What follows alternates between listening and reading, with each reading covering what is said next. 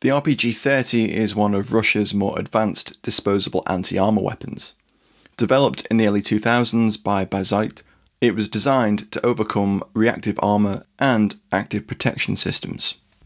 It entered service in 2012 and has seen extensive use in fighting in Ukraine.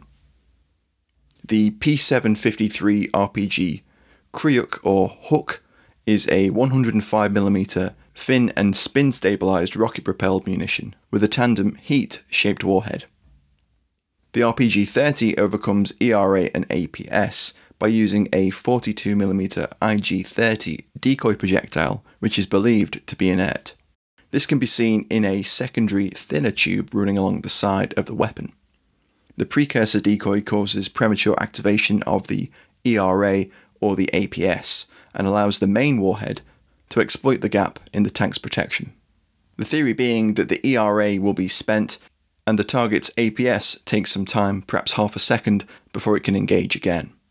This slow motion clip from a Vietnamese news program shows the delay between the rockets when firing. The RPG 30 uses the PG 30 tandem heat warhead, similar to the PG 27 used in the RPG 27. It can reportedly penetrate up to 750mm of rolled homogeneous armour, and up to 650mm of armour after ERA. Effective range estimates vary, with the average suggesting 200 metres. The weapon's sights are simple and consist of a folding front ladder and an aperture rear sight. There does not appear to be the provision for mounting either day or night optics, and flipping up the rear sight also cocks the weapon. The disposable tube is made of aluminium with a fiberglass outer layer. Sources suggest it weighs around 10.3 kilograms or 22.7 pounds and has an overall length of just over 1 meter or 44.7 inches. Unlike other Russian weapon systems, few videos of its use have been shared by Russian state media or Russia's Defense Exports Corporation, Rosoboronexport. The ongoing war in Ukraine, however, has provided us with our first real look at the weapon in action. As soon as the Russian invasion was launched on 24th of February, RPG 30s began to see use with Russian forces. By late February and early March, imagery of captured examples began to be shared on social media. This was quickly followed by imagery of captured examples, most notably from the column of Tiger M armoured infantry mobility vehicles in Kharkiv. Here's a photo taken on around the 27th of February of the equipment captured from the convoy, including an RPG 30. A photograph of a further two captured RPG 30s appeared in April. Another example was photographed in Donbass in early May. Later in May, a photo of a Russian soldier posing with one was shared on social media, and in September, during the Ukrainian offensive, significant caches of weapons were captured. This photo is said to be from Kherson, and this short clip from Balaklia, filmed around the 10th of September, shows a large number of captured small arms and light weapons, including a couple of RPG 30s. We can see the same RPG 30 in this slightly earlier clip, filmed at the same location. In late August, we got our first brief look at the RPG 30 being fired in a montage of weapon systems in a video said to be from the VDV.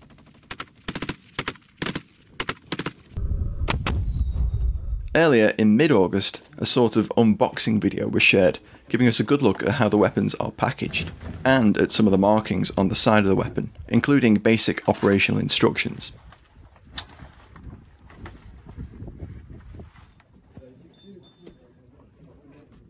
Most recently, some further video of the RPG being fired on a Russian Western Military District range also surfaced, giving us a good look at the weapon in action. Here's the clip in full.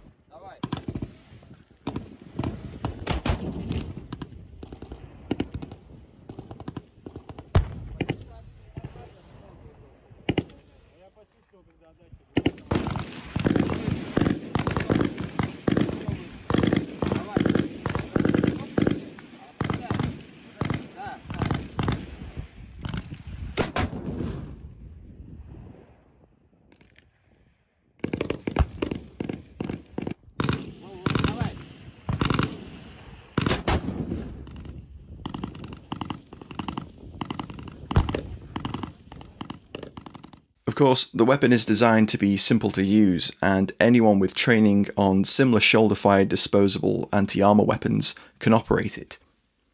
While it's been said that its widespread use in Ukraine is somewhat ironic, given that Ukraine doesn't operate any APS equipped tanks, the weapon is still useful against less sophisticated ERA, which is fitted on most Ukrainian tanks.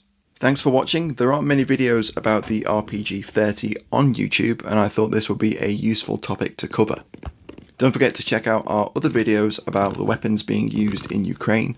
There's a dedicated playlist of those linked at the end of this video.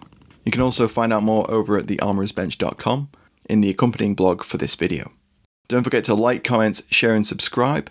Please help us with YouTube's algorithm by sharing the videos with friends and anyone that might be interested.